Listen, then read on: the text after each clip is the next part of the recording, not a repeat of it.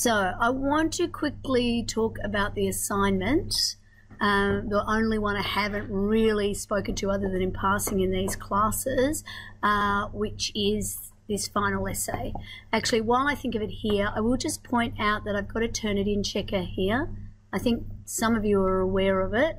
Um, it's there so that if you wish to do so or you're concerned about it, you can upload your uh, discussion topics and get a Turnitin review in relation to that. But also, um, particularly given that these assignments are being um, they're due over what is a really busy holiday period and everybody's traveling, um, it it's not at all uncommon for people to need extensions, but normally what I will do is because the maximum extension I can give is seven days is I don't start marking until those seven days are up. But once I start marking, I have to lock down the uh, the Turnitin in the area, and that means people who have extensions can't see their Turnitin report, which I think is not fair because you only get an extension if you need it, right? And there are usually not that many of them. Um, but particularly this time of year, it's going to happen. But I don't have the luxury because of the time of year of waiting a week. I'm going to have to start marking them straight away. So that means the day after these are due, you won't, if you are late or if you have an extension, you won't be able to check Turnitin, but you can use this Turnitin checker area to just upload and it's set up so that it won't store your score because otherwise you would then upload it again and get 100%, 100% right? So, or depending on what you change, you might get 98% or something or other, and that would be bad. So, that's what it's for. Um, it means the only way I can do it is by making it an assessment task because of the way our licensing works for Turnitin. That's the only way that you can use it. Um, so that means if you haven't seen it done this way before, in your assessment task, it might show, especially once I'm finished, so when I'm processing the mark, it might show you get a zero or an incomplete. Um, that's because I'll just default mark them. If you are zero or incomplete for a Turnitin checker, you're golden, right? Do not worry about it. You do not need to call me. Do not press whatever I am on your speed dial. Yeah, it's fine. It's all good. Um, but you know, if you just want to say hello, that's fine. Um, so let's. Um, I am looking at the screen over there and I literally cannot see a thing. It's because my eyesight is not that good. Um, in fact, I'm going to try and remember where this thing is. Um, can somebody tell me, is that the Zoom? Yeah, yeah. Because um, I'm thinking if I can't see it, other people can't either. Let's just have a quick look. Oh, that's better. I can now read it. Okay, so this is your main assignment. When I say it's your main assignment, it's the single biggest weighted task that you have. You have a lot of time to do it. See, 20th of January. Okay, so I'm very happy if you submit it early. I will not start marking them until the 20th of January because I've learnt that lesson the hard way, go and spend all that time marking and feedback, and then somebody puts it in, you know, overwrites it again. Um, that's okay. So, what is your topic? You are required to critically evaluate the ways in which the law seeks to protect minority investors in the context of change of control transactions and evaluate the effectiveness of the rules and their impact on the way that transactions are conducted in Australia. It is purposefully vague. I am very happy for you to, and in fact, I recommend that you pick a specific type of change of control transaction and explore relevant rules in relation to that. A typical type of transaction could be you can look at it in the context of initial public offerings or other kinds of share issue transactions where clearly control is affected um, at the early stage. You can look at it in the context of takeovers, which is what we've been discussing today. You can look at it in the context of share and business uh, transfers. You might want to do it as a comparative analysis. You might want to look at how the rules and the uh, the uh, the processes and the conventions in the way that we do private transactions, how they do or do not overlap with public transactions, and the extent to which that goes to that question of uh, the minority or not. If you are concerned about the avenue that you are taking, or if there's just something that we've touched upon as we've been going that is of particular interest to you that may not even be particularly uh, uh, close to that transaction, uh, sorry, that uh, essay topic, I am happy to negotiate an alternative essay topic with you. Do not write one without me getting my uh, without getting my approval for it first, because all I will be doing is making sure that your topic is sufficient to address the criteria in the rubric. That means that I can actually sign off that you've achieved the learning outcomes that we need to achieve for the topic. Now, one of the reasons why I'm happy to, for you to do a deep and narrow dive here, and in fact, I suggest you do because you can show off a lot more when you go deep and narrow for this kind of essay work, is because across with that 40% assignment task is broken up into four separate tasks. And I know that they are onerous, and each of them focuses on a slightly different area. Um, and there is a common playing field there because topic four is, I think that's the one from memory, all of you will have to do the same discussion task for that one. You have less choice there. So I've got a common moderating um, uh, assessment task there as well. And so it doesn't, you can do what interests you because frankly, I am much more interested in you learning something than reading the same essay over and over again. I am also very happy for you to explore these ideas across different areas. Why do I suggest that you think about something different or something that interests you? Genuinely, people who are interested in what they're writing write more interesting things. And I know I make it sound like this is all about me, but but I'm going to read a lot of essays, and it can be, you know, quite frankly, some of them can be a little bit boring. Um, I mean, and if you're bored writing them, I'm really bored reading them. So pick something you're interested in doing and share your opinion about it. Now, the, this is a critical analysis task.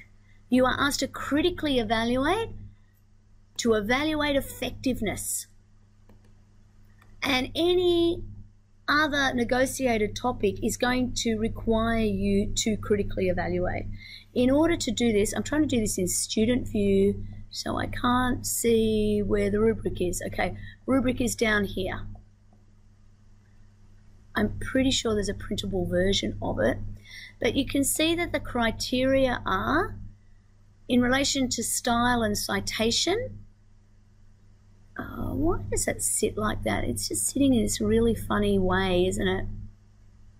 Um, I'm just trying. Oh, okay, that'll tell me. So 20% goes to the way that you write. Okay, so when I'm actually doing the assessment, I will be looking at are you using the right terms? Are you using them consistently? Are you using the English language with actual verbs in every sentences and ideas in that are separated out into different paragraphs and headings that make sense? Have you structured it in an order that makes sense? Um, if you use diagrams, did they add to the way that I understood what was going on? Uh, or is it a diagram like the one that was just confusing earlier on today?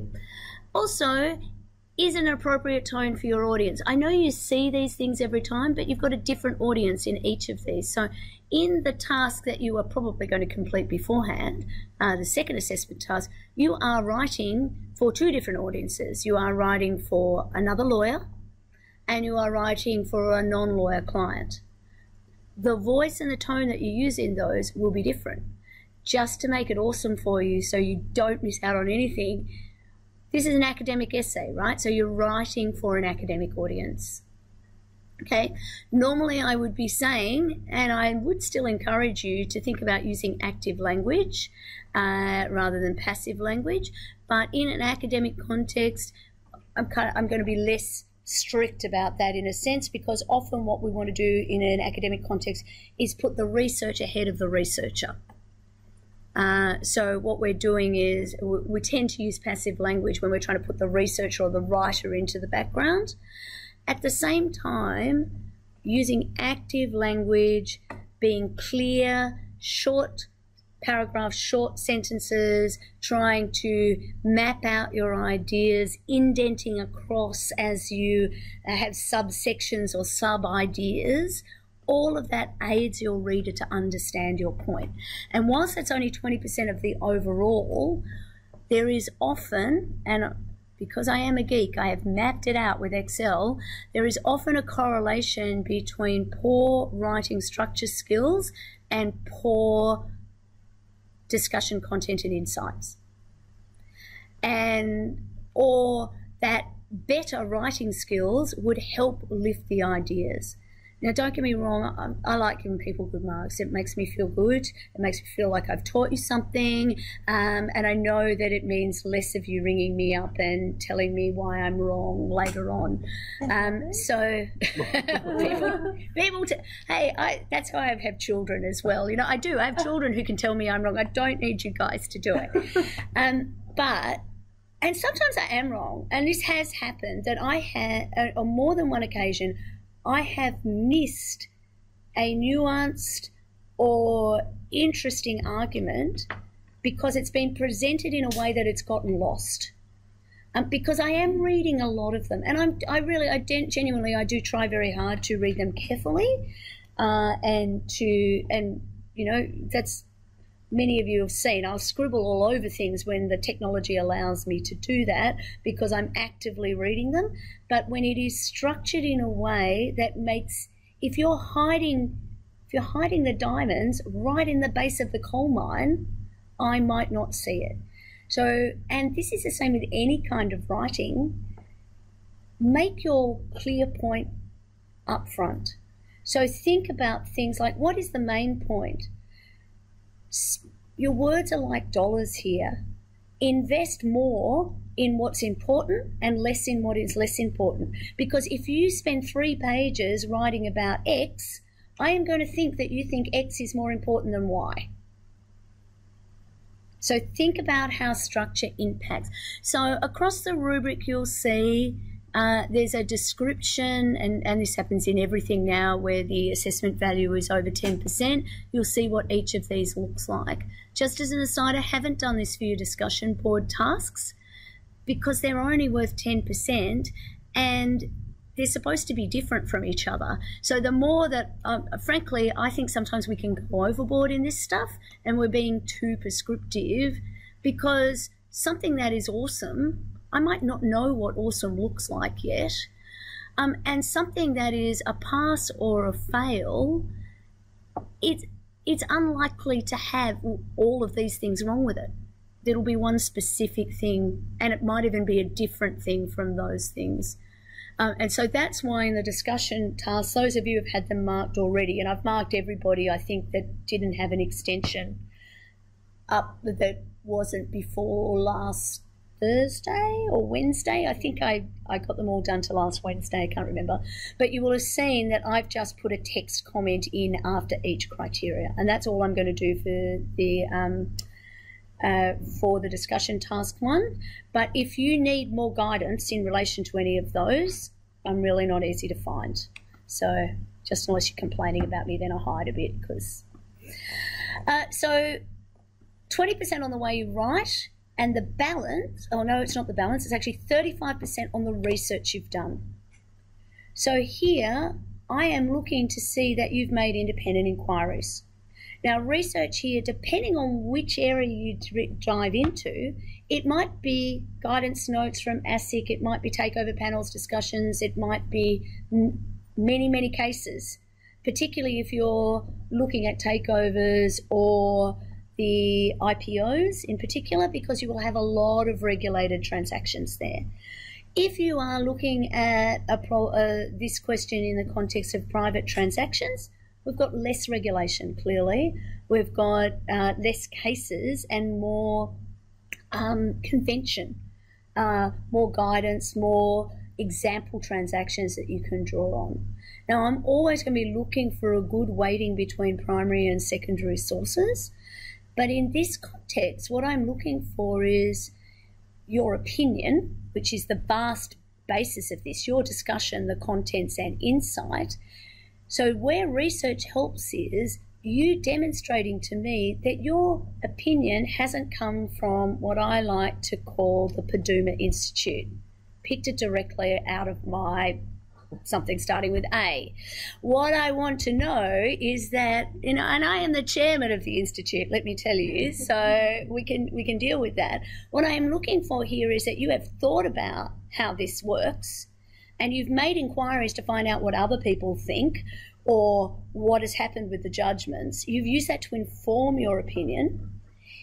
If you disagree, best case scenario, guys, is to disagree intelligently with other sources because that gives you uh, the ability to contrast, compare, to explain what it is that you think and why. If you do that, demonstrating to me that you have taken into account the opinions of others, that's awesome. If you don't don't disagree for the sake of disagreeing, you're not five. Um, it's a good result if you get there. If you don't, if you agree with others, it only adds credibility to your arguments and your insights if you give examples, if you can point to other people who you agree with. Um, and again, you know, all of you are along the way in your degree process. You know about academic integrity, but from my point of view, it's beyond academic integrity here. It's demonstrating to your reader that you've gone to a sensible source, you've thought about what they have to say, and you have an opinion of your own. Because ultimately, the high distinctions come from this area. Your the content and the insight. So the extent to which you've clearly articula- articulated what the issues are, what the law is, you've applied legal reasoning. The way that you've structured and presented your arguments goes to this, even though that's really part of your writing, it, they're absolutely intimately involved with each other. The extent to which your consideration of the issues incorporates a critical assessment of the legal issues and applies insight into uh, appropriate, uh, sorry, insight appropriate to the issues under consideration. So, my last point, and I, am hoping I am making it pretty short here, is think about what your recommendations are. Reach a conclusion. Your conclusion should follow from earlier arguments. If the first time I have any idea where you're going with this is when I'm reading the last paragraph, then you haven't done a good job of it. I need to see logically where you're heading. So, you know, in the typical style, intro, often it's good advice to write your introduction last. So tell me what you're going to say, say it, tell me what you said. The conclusion, I should be pretty clear on what your recommendation or conclusions are from reading the first paragraph in an ideal world. Um, so I, I don't want to see anything new in the conclusion. If your conclusion, recommendation, your insight is the law should be changed, that's awesome, but don't stop there. Because changing the law is not an easy thing, particularly if we're talking about changing a federal law with the government that we have right now, uh, where it is very difficult to get bipartisan support on anything. Um, that we have lots of different moving parts to get regulation changed in any way is a very difficult thing and courts can only make law based on the cases that are put before them. So, stopping with the law should be changed. Look, it might get you, eh, eh, depending on what the rest is, I'm not going to say you won't do well with that, but just as a recommendation, don't leave me hanging, okay? I, I like to know did the butler do it? Not only should the law be changed, but how should it be changed? And and how do you actually see that happening? What would be involved in that? Um, and yeah, and, and, students can in particular think it, we end up with, oh, we should change the law, but it's in practice that's not an easy outcome. Um, questions, concerns, frustrations, Compliments. Any excitement about this? I have a Yeah. Um, because we're doing this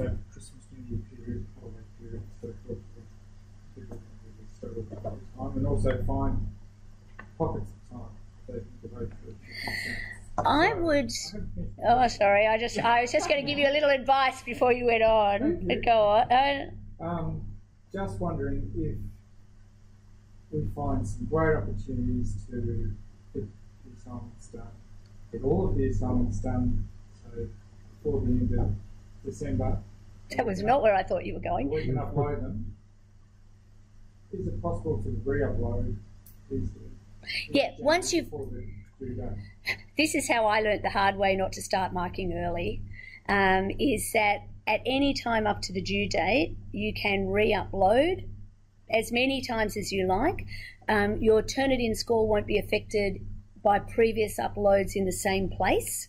It'll only go down if you, or up if you've amended, depending on which way you've amended. Um, but you can keep doing that as many times as you like. Um, I would actually suggest if you think you can get it done and you get it up there, then it's there. And if you have extra time to fret and worry about it later, good. But otherwise, Happy New Year to you if you can get it in there.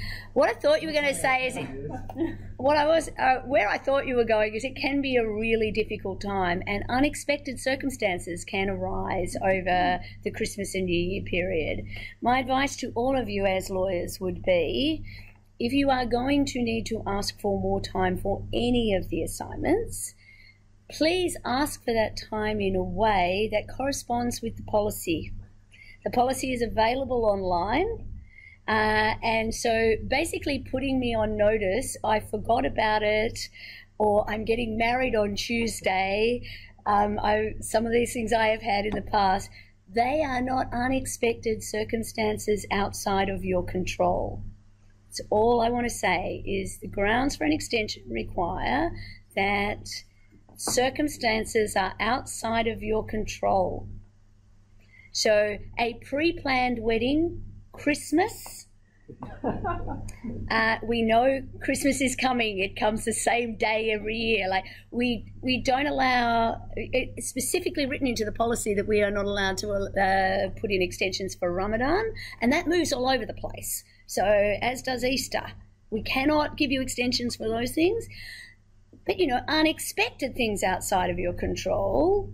You know, suddenly a lot of people you didn't invite turning up for a party. Those things, you know, think it uh, think it through, guys. Is what I'm saying. You're lawyers for crying out loud. Just think it through. Don't put me on the spot. Because look, at the end of the day, it is crazy time of year, and I get it.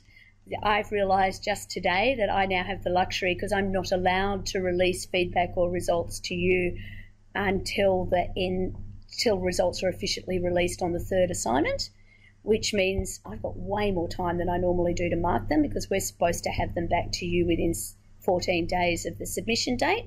Which, given usually you can't start marking them until seven days after the submission date anyway, is actually quite hard work for us. Um, but uh, yeah, I think I've got a longer time. Like I said, I'm, I won't be unreasonable about it, but think about it too. With something due on the 22nd, the maximum I can give you is to the 29th if you need additional time. And my guess is for most of us, um, the 22nd and the 29th are equally undoable. Un- and I don't mean undoable in the sense of undo or not, I mean it as in difficult. But you're all in the same boat. And hey, it's a really fun assignment, that middle one. I think you're just going to have such a good time. You'll be saying to other people, sorry, I would prefer to be doing my assignment than going to your barbecue. Okay, is that really wishful thinking? We're closing the order. Please, I would like to see that as a hashtag on Twitter. Any other questions, concerns, frustrations? Yeah, I know there are a lot of assignment tasks for this subject, um, and yeah, it is hard work doing it over Christmas, but um, in less than two hours, there will be no more teaching.